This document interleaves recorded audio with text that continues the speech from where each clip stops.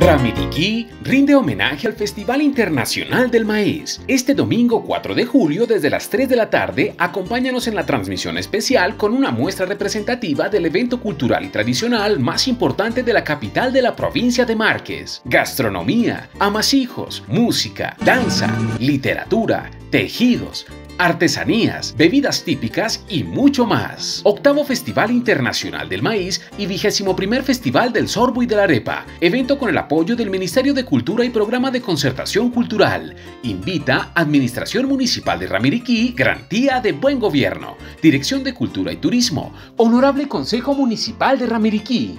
Conéctate y comparte a través de las redes sociales. Te esperamos.